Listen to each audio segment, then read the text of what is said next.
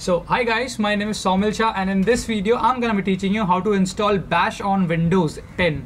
So basically a lot of people were asking me uh, that uh, uh, I uploaded a video uh, recently on hacking an Amazon Echo. So I taught you how to install the bash curl, how to get the bash curl, but I did not uh, taught you how to you know send the bash curl. So in this video I'm gonna be teaching you that. So make sure you watch this video till the end. So first of all what you have to do is I'm gonna go step by step. So first of all open settings.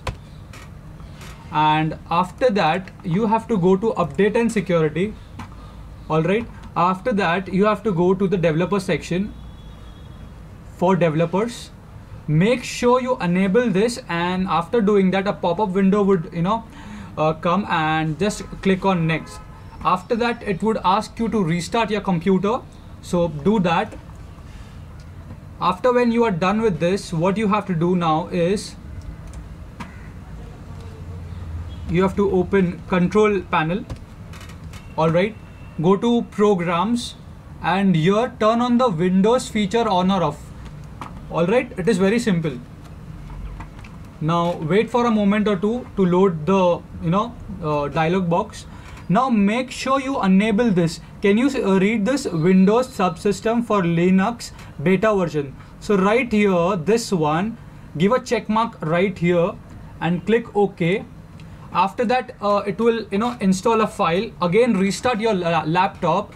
After you're done with the restart simply go to uh, the uh, the the type i mean you know enter the windows button and type in bash instead of this you would see a cmd bash open that and hit y and press enter and it will it would download the bash on your uh, windows basically. So here you see this is the bash and you can send the uh, bash call uh, using uh, the amazon echo bash call and you can modify the time and date and and and, and so on basically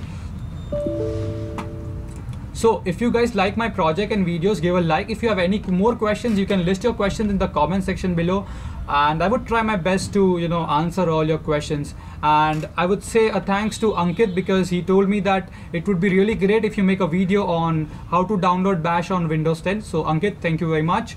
And Ankit also, I'm gonna be, you know, making videos on uh, making your own hardware and interfacing with it with the Amazon Echo. So give me some time. I'm in final year right now. My exams are going on. So as soon as I get time, I would definitely make videos for you. Thank you very much guys and see you guys next time.